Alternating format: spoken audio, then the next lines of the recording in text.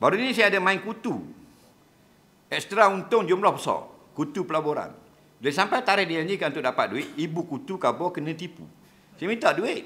Ibu kutu kata nak bayar 15% je. Benda-benda lagu ni banyak. Daripada dulu. Dia 80-an start. Tak habis-habis sampai 2022 dah. Masuk 1000 1000 kat Gimu akan dapat 150 seminggu contoh. Itu pelaburan apa? Pelaburan ni begini. Kita masuk pelabur, kita memberi sebahagian modal kepada orang untuk niagakan modal itu. Maka kita akan berhadapan dengan dua kemungkinan untung atau rugi. Kalau untung, kita berapa persen modal kita? Kalau modal kita 10% dari modal keseluruhan, maka kita akan untung 10%. Kalau kita rugi pula, kita akan rugi 10%. Itu pelaburan yang dihalalkan dalam Islam. Ni tak tetap mau akan dapat satu setengah minggu. Itu bukan pelaburan, itu mau sewa. Betul tak? Ha, pelaburan ni ada untung dan rugi, naik dan turun.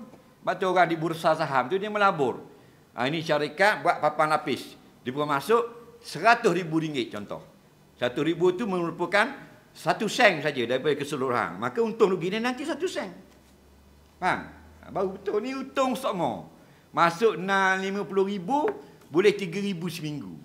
Rupanya duit daripada pencarum yang lain.